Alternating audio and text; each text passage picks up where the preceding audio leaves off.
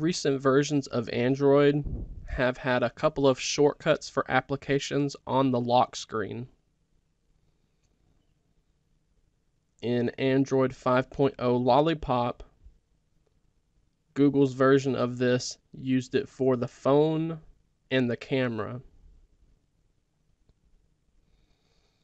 In Android 6.0 Marshmallow, Google's version of Android used the camera and a shortcut for Google Now, their search service. Different OEMs choose to implement this feature differently. For example, on the Samsung Galaxy S7 with Marshmallow, they have stuck with the camera and phone shortcuts. Most OEMs, besides Google, will allow you to customize these shortcuts though.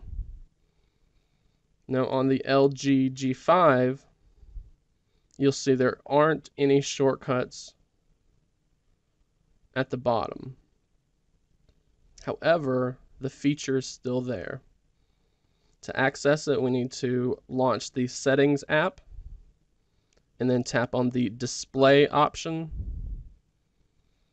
Tap on the Lock Screen option.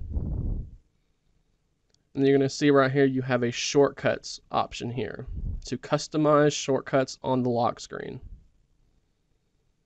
Now with Samsung's, you only have the option to add two shortcuts to the left and to the right. As you can see here, LG has added a whole bunch of shortcuts.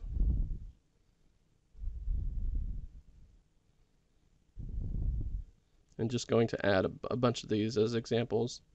So we can have up to five shortcuts on the LG G5. Once you add it in, just go ahead and tap the Save button at the bottom right and then you'll see that toast message telling you that the shortcuts on the lock screen have been saved. So now, whenever you look at the lock screen, you're going to see those shortcuts that you added.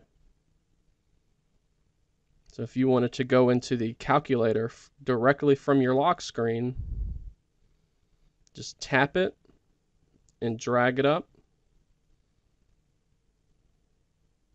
and as you can see it instantly launched the calculator app directly from the home screen.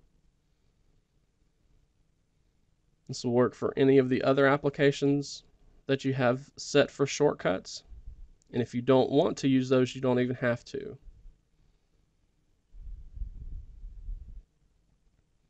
We can remove some of these just so we can show you what it'll look like. So if you have two on the left and one on the right, we save it. And then on the lock screen, it just has three. It doesn't keep the position. It just keeps the the shortcuts that you've added.